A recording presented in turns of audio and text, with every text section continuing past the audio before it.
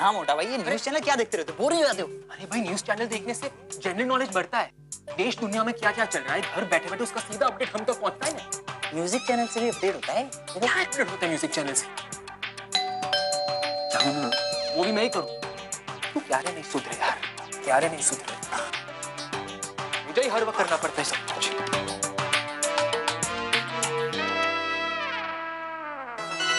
हाय फिर मैं ऑर्डर देने आई मम्मी घर पे है तो मैं हे तेजू।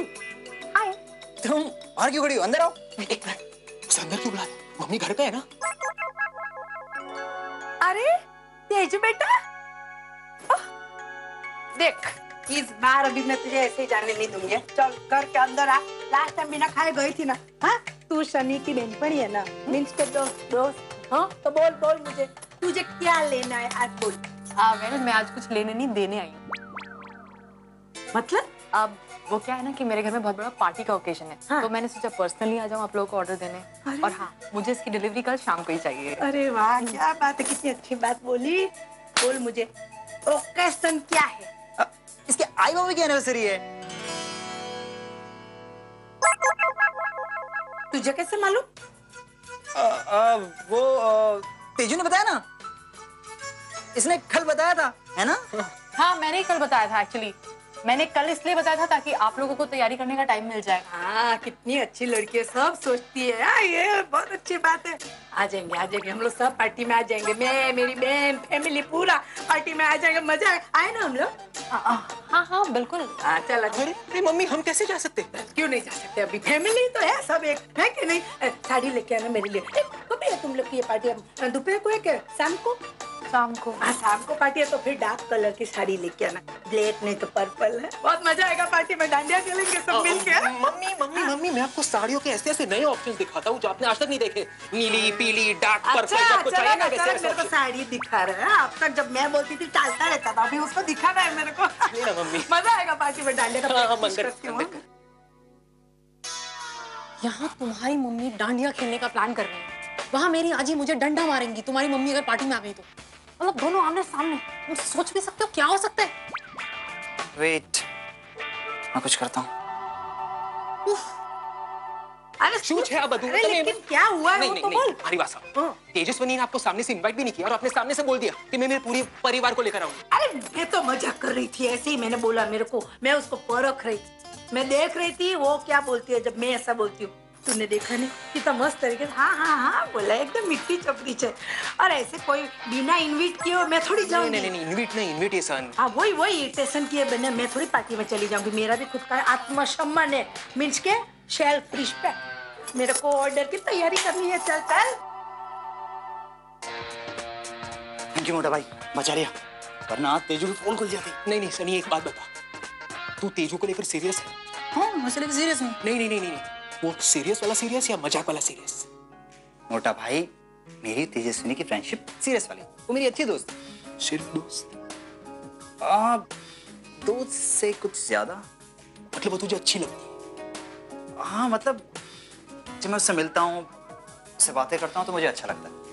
और जिस तरह से वो घर पे चली आती है अचानक से और बातें करनी शुरू कर देती है ऐसा लगता है कि जैसे कि अरे बस बस बस बस बस। मैं समझ गया। एक बात बताऊँ। सीरियसली बहुत अच्छी लड़की है। मैं तुझे बहुत सूट भी करती है। रियली थैंक यू भाई। बस बस बस बताओ लो एक्साइटमेंट सारी मत रिलैक्स थे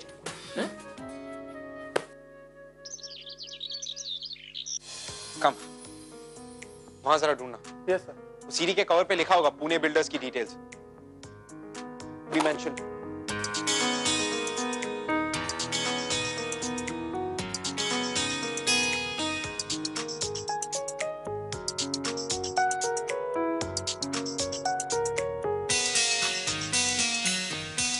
मिल गई सर सर यही है वो सीढ़ी.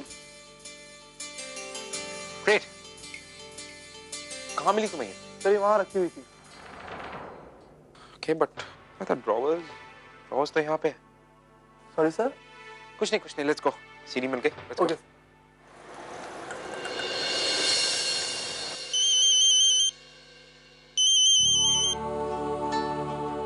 हाँ पूर्णिमा बोलो. ओवी? तुम फ्री हो क्या? मुझे दो मिनट बात करनी थी। हाँ कर सकती हो।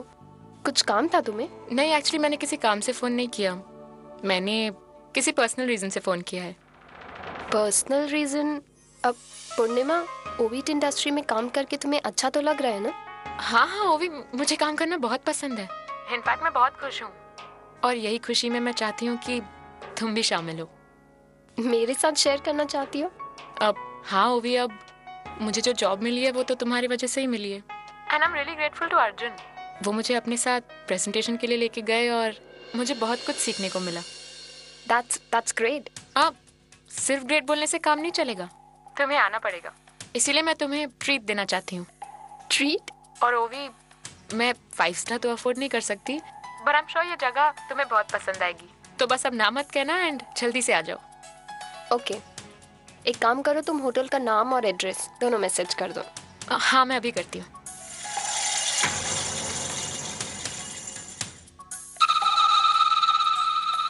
आई एम रियली हैप्पी मैं भी तुम्हारे लिए बहुत खुश हूँ। क्यों? तुम्हारी शादी को एक महीने से ऊपर जो हो गया। हाँ। इतनी जल्दी इतना वक्त गुजर गया पता ही नहीं चला। वैसे तुम दोनों काफ़ी खुश हो ना? हाँ वो तो है।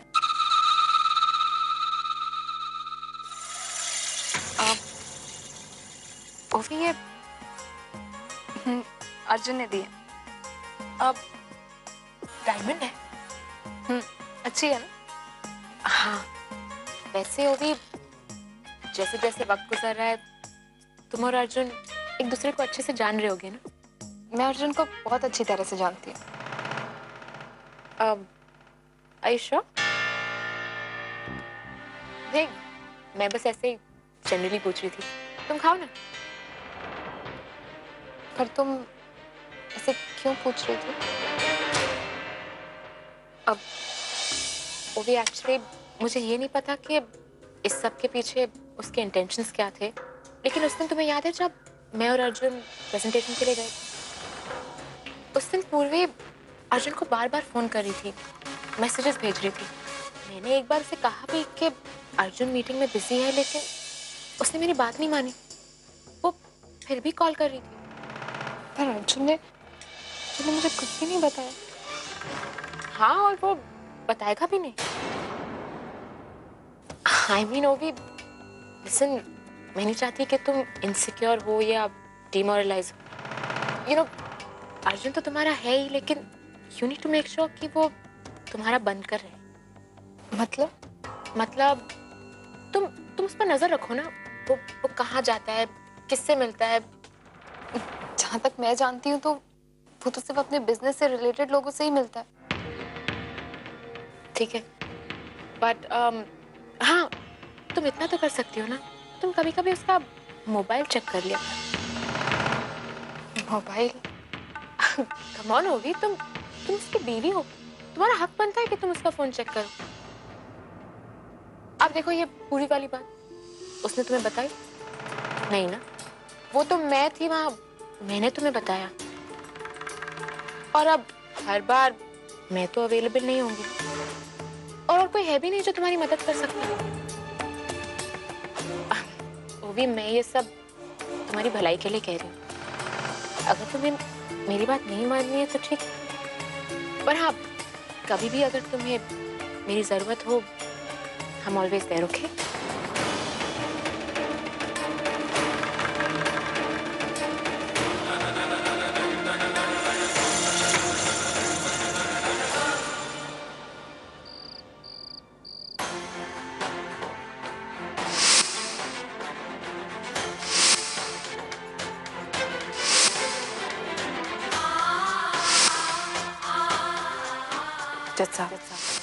इसने गुनाह किया है।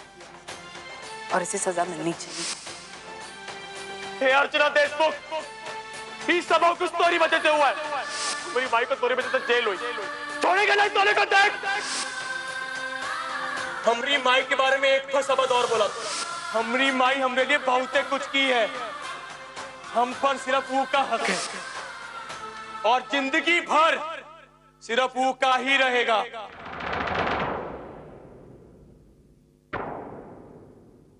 अर्चना अर्चना बारह बजे। हाँ बहुत देर हो गई है मुझे पता है अर्चना बारह बज गए। हाँ तो शायद तुम भूल गई आज क्या है।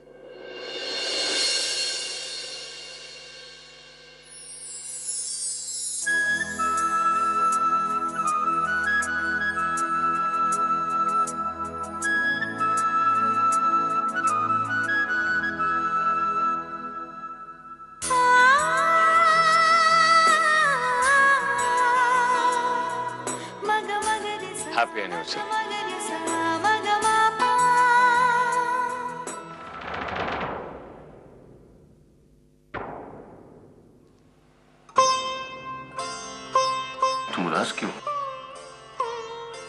खुशी नहीं हुई तुम्हें? ऐसी बात नहीं मारा मैं खुश हूँ। लेकिन हमारी ज़िंदगी में इतनी सारी प्रॉब्लम्स चल रही है। तो अर्चना प्रॉब्लम्स तो आते जाते रहे। तुम हमारी ज़िंदगी की पॉजिटिव साइड को देखो। 18 साल बाद हम एक हुए हैं। हम मिले हैं। आज हमारे साथ हमारा पूरा परिवार है। अब इन सब खुशियों के सामने प्रॉब्लम्स तो छोटे लगते हैं ना। हम इन प्रॉब्लम्स की वजह से इन खुशियों को तो अनदेखा नहीं कर सकते ना। ये इन खुशियों के साथ नाइंसाफी होगी।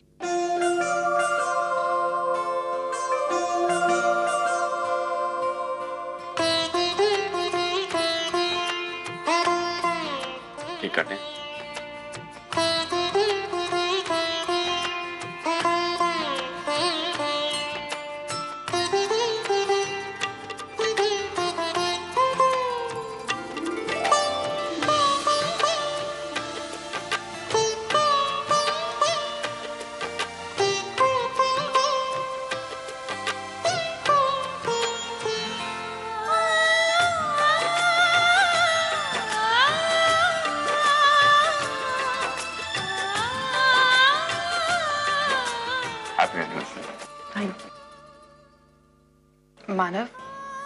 मुझे आपसे एक रिक्वेस्ट करनी थी।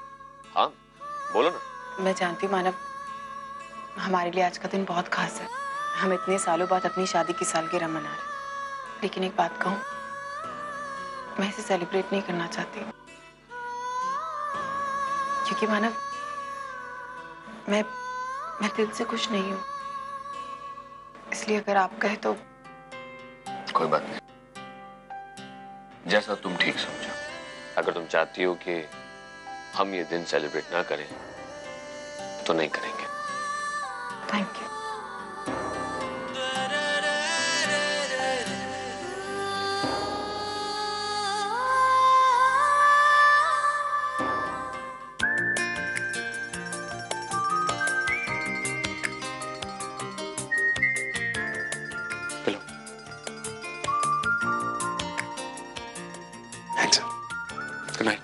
good night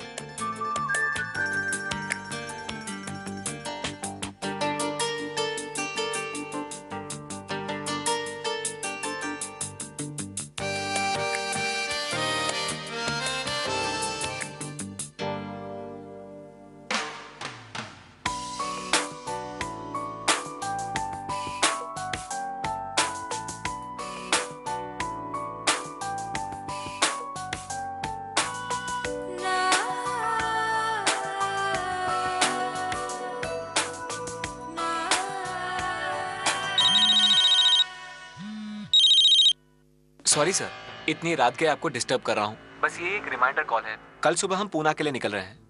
अब नहीं अर्जुन सर अभी सो रहे हैं और मुझे नहीं लगता कि कल वो कोई भी मीटिंग्स अटेंड कर पाएँगे। और सुबह भी आप फ़ोन मत करिएगा। लेकिन मैम मैंने आपसे कहा ना एक काम करिए कल की सारी मीटिंग्स कैंसिल कर दीजिए। अर्जुन सर की तबीयत सही नहीं है। बट मैम हम ऑलरेडी और प्लीज़ अभी दोबारा डिस्टर्ब करने के लिए फ़ोन मत कीजिए। Okay ma'am